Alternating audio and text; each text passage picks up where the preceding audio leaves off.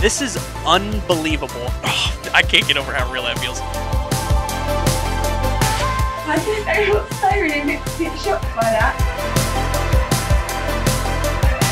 What a cool experience this is.